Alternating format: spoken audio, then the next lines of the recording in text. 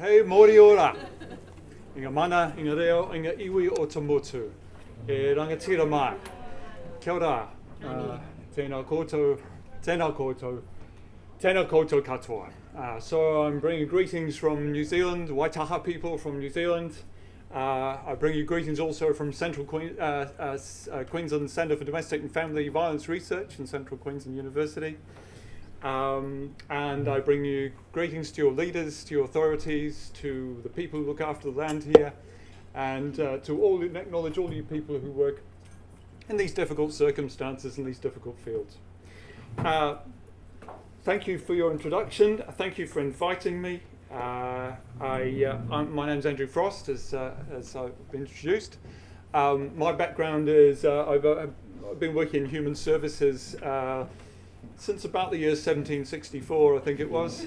Um, working with boys and men with, um, in a residential setting, residential social worker, did my training background in social work. worked with sex offenders, and uh, my current interest and heartfelt commitment is to working in the domestic and family violence field, uh, particularly in the men's behaviour change uh, facilitation uh, area or the sector, uh, which is where I'm teaching along with my esteemed colleague Silke Meyer, who I'm sure all of you have met yesterday. I'm sorry I wasn't here yesterday. Um, so I think I'll get underway. So this is the Podium Express. I've got 10 minutes. Good luck to me, and good luck to you on a Friday afternoon, in the middle of the afternoon in the winter. Okay, so um, yeah, my topic is domestic and family violence, and I, I wanted to talk particularly about the intersection between domestic and family violence, particularly men's behaviour change programs, uh, and and addictions. Um, so uh, I'll just flick down here.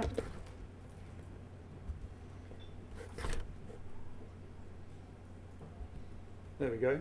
Uh, so, programs for men who use violence and domestic, uh, domestic and family violence relationship in domestic and family violence relationship. That should read.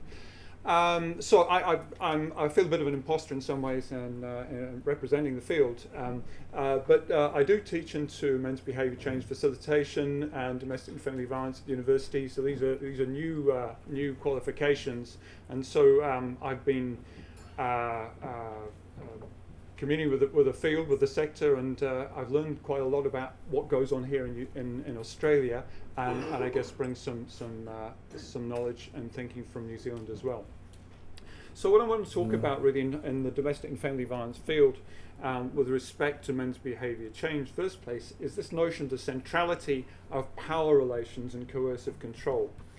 Um, so uh, there's been under, under the whole domestic and family violence field, as I'm sure you're aware, in some ways, in the similar ways, the addictions field has undergone a characterization shift um, in the last few years. Domestic and family violence was seen as being something uh, that was a, a, a, family issue, a private family issue, uh, an issue for the man, an issue for the family, or even an issue for the, for, for the person who's been abused, the woman who's been abused, and the children. And we now see this very much as a, a public issue. It's gone from a private trouble to a public issue. And it is uh, clearly a, a, uh, an entrenched, uh, a very um, uh, an obstinate um, and enduring public health issue. Uh, and it is in the context of power relations. So power relations about how groups take control of other groups in terms of their interaction with them and it's uh, it's seen very much, and I think very accurately, as a gendered problem. It is what men do to women and and their families. So I'm talking about abuse here, and I'm I'm, I'm in some ways uh, distinguishing it from the notion of violence, because lots of people commit violence. Some people use it systematically and abusively. I think this is the main problem with domestic and family violence. I say it's a gendered problem at heart, I think, and it is it's systemic it's, it's, it's, it's fueled by uh, uh, patriarchal dominance and the, the, privileges that men have. But it's also in a broader context of oppression uh, and intersectorial um, relationship to other forms of oppression as well that is fueled by, by, um, uh, by colonization, by discrimination, uh, and, and so on. Um, so, uh, and so what we find in terms of the phenomenon itself is, is that, that at its core, it's about an entrenched and systematic abuse um, within family systems uh, where a man is, is using his, uh, his um, uh, power and control uh, uh, tactics and strategies over a family. And the family live in fear because that. So we have terms like intimate terrorism, uh, of coercive control. So um, it gets to the point where the man merely needs to take the top off a beer can for his family members to start working, walking on eggshells around him.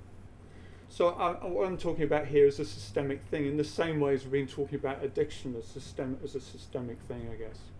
And in terms of cause and effect, um, we could, we used to simplistically say, so what caused this man to use violence, or what caused this man to abuse? And I think the more helpful question that we, has arisen now is, under what circumstances and in what context did this man choose to use violence against his family? So, just moving on to, to, to the risk context then. So, it's a simple it's a simple it's a simple enough question. What circumstances and context uh, was around that this man chose to use uh, violence against his family?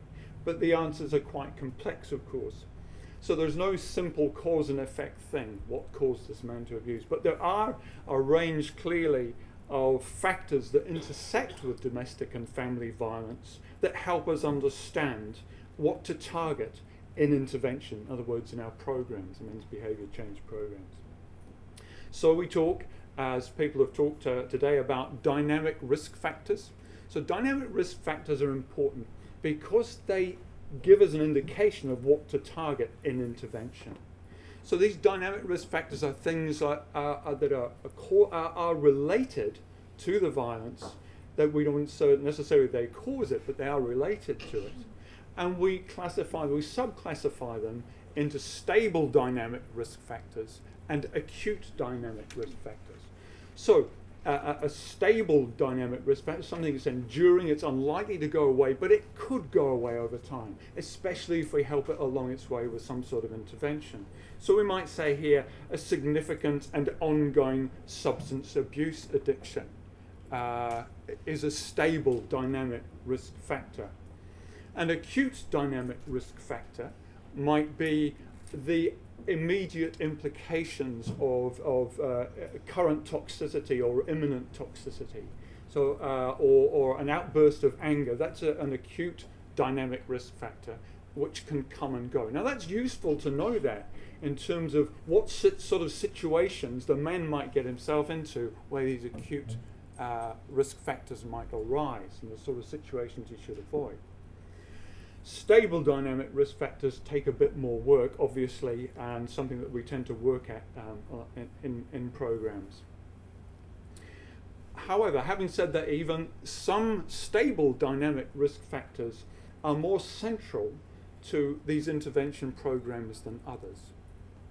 And the most central ones I'm going to suggest to you are the ones that are related to this system, systemic problem, the systemic public health problem that we have in terms of uh, men's power and control over women. So those central dynamic risk, stable dynamic risk factors are things like hostility towards women, things like a high commitment to uh, uh, male entitlement uh, and privilege, and the objectification subject, uh, and subjugation of women. They tend to be the central ones.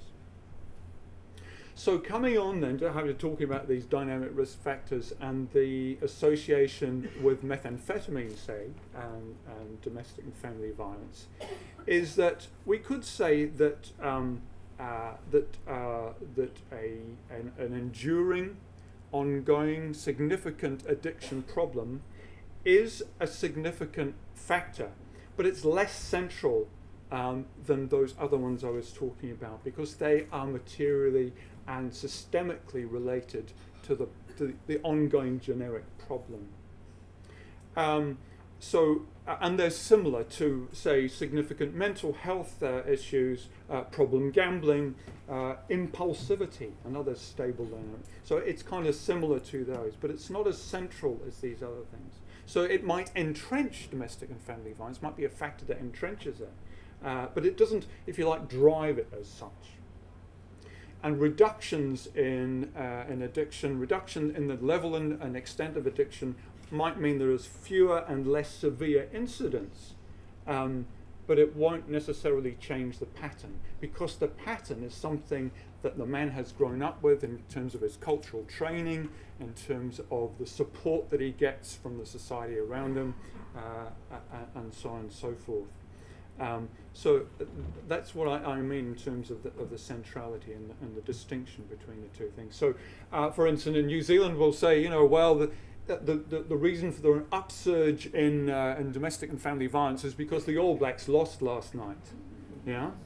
Which, uh, you know, and, and there may, may be more, uh, you know, specific incidents, isolated incidents of physical harm, say, but it's not really going to affect that pattern that the man has established over, over an amount of time.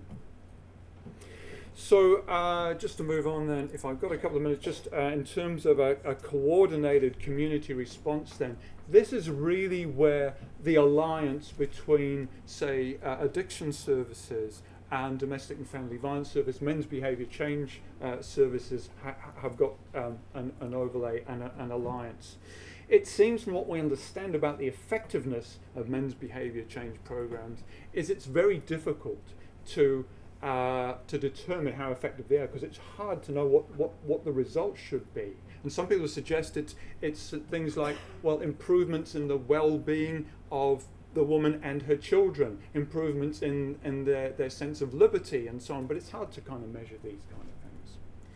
Um, so, but where we do know that men's behavior change uh, programs are successful is in terms of their integration with other services. So other services uh, that they work with um, uh, child protection organisations, uh, police, courts, uh, probation, uh, women's advocacy services. It's the system.